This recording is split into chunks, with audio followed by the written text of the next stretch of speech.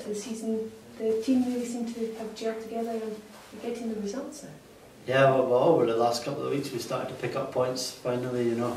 Obviously it was a, wasn't a great start to the season, so it's good to finally start picking up the points and hopefully start moving up the table. Now Hamilton have had a, uh, they've improved after having a few sticky results, a bit like yourselves. How do you see this weekend's match panning out? You know, it's, all, it's always a difficult game when we go down there. I mean, it's on the Astro as well, so it's something that's obviously we're not that used to, so we need to get used to that and then obviously go out and win the game, hopefully. Now, there's been a couple of new players coming in. How does how does it feel in the dressing room for the, the team gelling together? That's all good. It's, I mean, obviously with new players coming in, need to get to know the lads, but I don't think they have any problem with that. You know, they've been coming in, they've done great. And with Richie, obviously, first season as manager, seems to be on the up from there.